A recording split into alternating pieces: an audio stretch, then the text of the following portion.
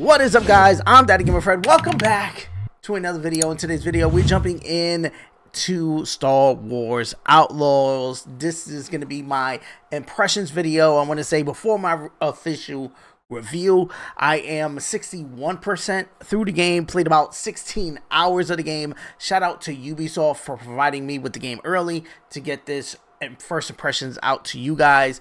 The game will be available, I believe, tomorrow for early access users, and then on August 30th for the general public for everyone to jump in. I will be streaming this game over on Twitch tonight. So jump on, follow my Twitch channel. It's going to be in the description of this video. And it's the same thing like this YouTube video is Daddy Gamer Fred at twitch.com. But let's jump into it. I think Star Wars Outlaws is phenomenal.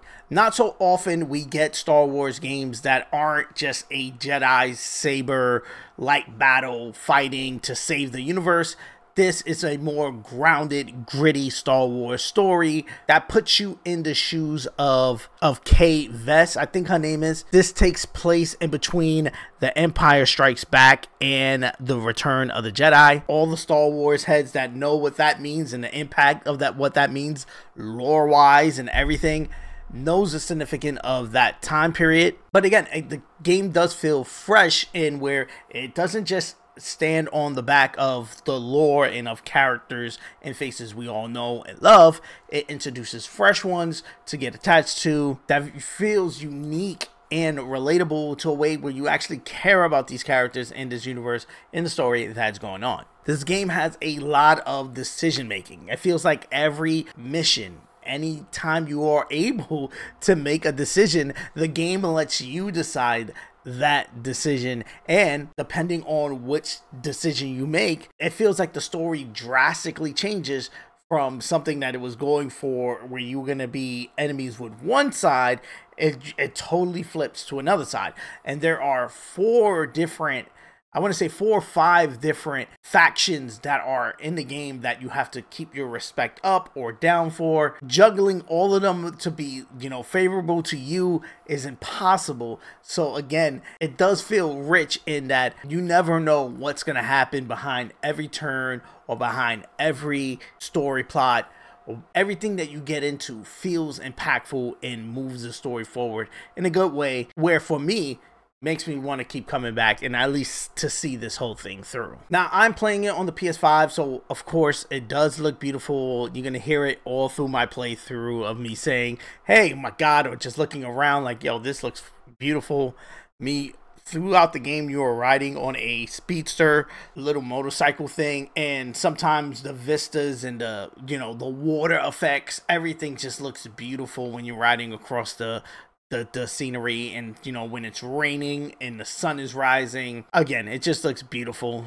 You could put this game up there with looking as good as something on the ps5 anyway as you know returnal god of war ratchet and clank. It stands up there with those games proudly and it looks amazing.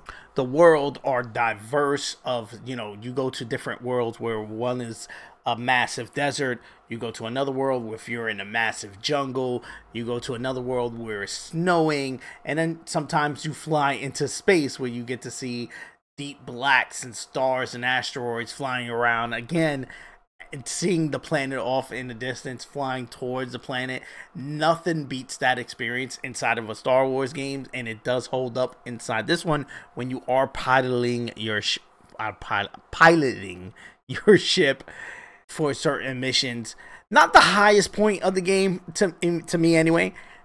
I'm not a huge plane guy flying around, you know, shooting X-wings out the sky. I'm that, that was never my love for Star Wars. I think my love for Star Wars came with the story, the lightsabers and stuff like that. But it does have it here for the people who love it and it's not terrible. It's not terrible. I played through those missions and I uh, generally enjoy them. As you guys know, I love the stealth missions um, in video games in general, and they are plentiful here and they feel really really good. I love it when you are given a new sandbox or a new place to explore and they go hey you could either blast your way through this place and you know set the alarms off go in gun blazing or you could sneak through knock out everybody scavenge through the camp loot up.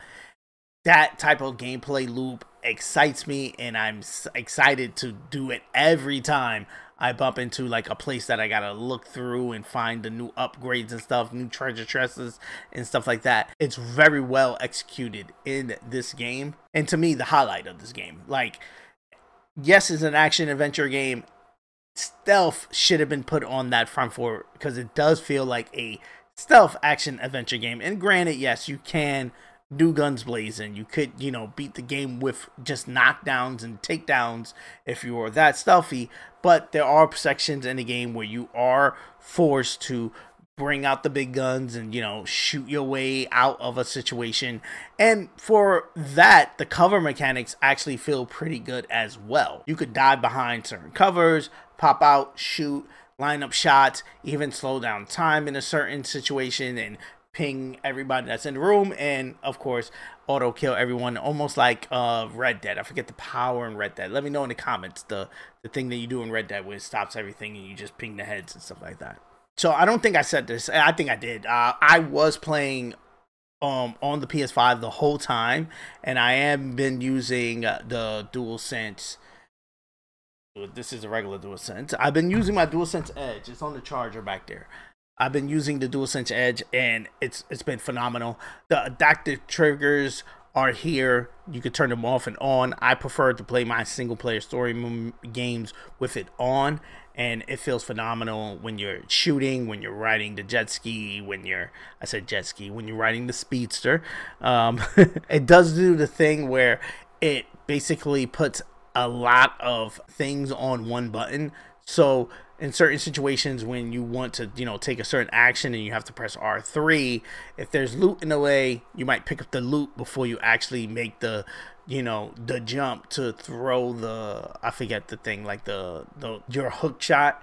And to me, that is like the worst feeling in the world when you're running, trying to make an escape. You press R3 to throw your you know, hook shot so you could swing across a gap. And your character just falls to his death because it tried to pick up the loot that was on the floor. Talk about the loading. The loading. There is none. There is no loading. I there is loading in the game when the game starts up.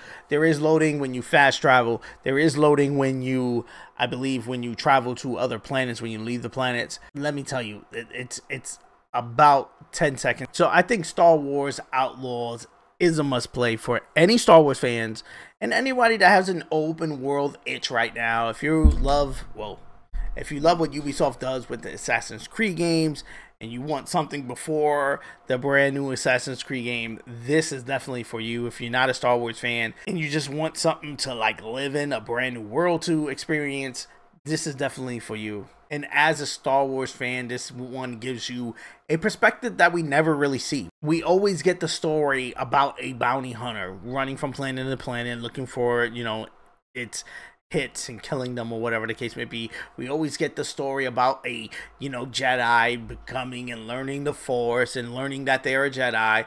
We always, you know, did the movie stuff, just retold or repackaged. We never had a story where you play as someone who is in this predicament without spoiling too much, it's like a rebel, but but it's not a a a part of the empire, but it's not through the eyes of like an like an outlaw, just trying to make it day by day, trying to earn some credits. You know what I'm saying? Spend the credits gambling with its you know trusty sidekick throughout the whole adventure. I haven't even spoken about Nix. Nix is the homie. He's the homie for life now. As much as Nix has helped me throughout this game, he is the homie for life. I will forever respect Nix. To me, it's one of the best Star Wars games that we got in recent years and as well as one of the best games that I played on PS5 in a while. So let me know your thoughts and opinions of Star Wars Outlaws.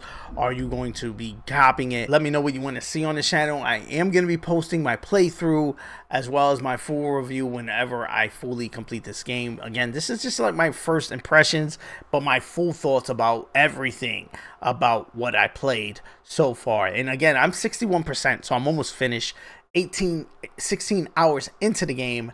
I want to say that I probably got like maybe up to 20, 21, 24 hours into this game until I'm done.